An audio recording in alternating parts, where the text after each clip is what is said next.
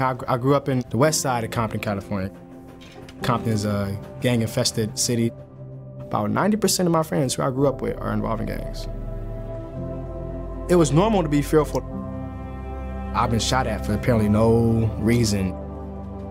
There were times where I couldn't even walk down the street. Literally a few houses down because I was fearing for my life. You learn something new when uh, death happens. My friend uh, Boston got killed right there. Rest in peace to Boston. Then a couple of months later, Pup got killed. Then Braves got killed. I've been about 50 funerals. Just crazy. I try to use it as motivation. Stay focused, like stay grounded. I'm the youth assistant here at Union Rescue Mission. Uh, I wasn't planning on working here too long, but interacting with some of the kids and hearing their stories and just, just um, seeing them laugh and the joy that they have, why would I not want to be a part of these kids' lives?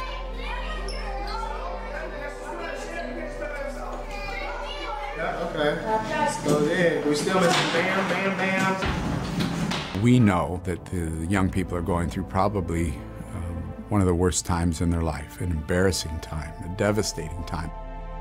Our goal is to make the experience uh, the, the best we can, the most normal we can, the most encouraging uh, that we can. What's going on, man? How you doing?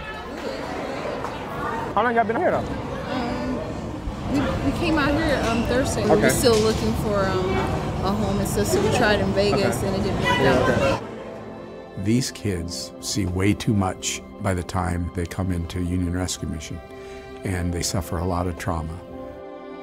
Remarkable things happen here at Union Rescue Mission and at Hope Gardens, and Matthew and the team help make it happen.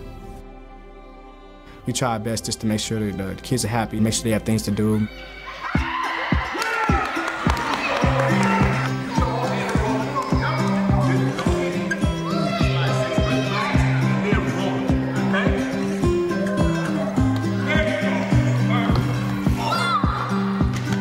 Some respects, I'm the closest thing that they have to dad. I'm the closest thing they have to big brothers. So um, I don't take that lightly.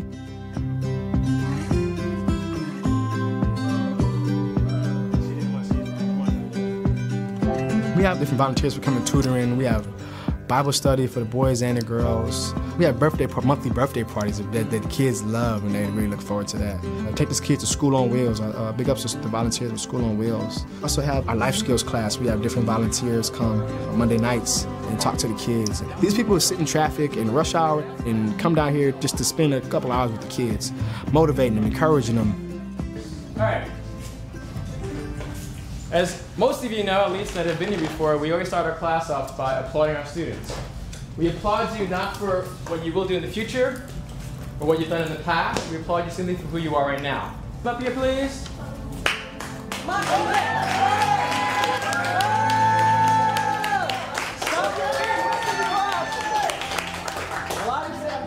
Really, some incredible things can happen in a young person's life just by some encouragement. We've had a young lady go from here to Harvard. Uh, we've had a young man go from here to uh, Loyola Marymount. When I look at these kids, I see they have so much potential.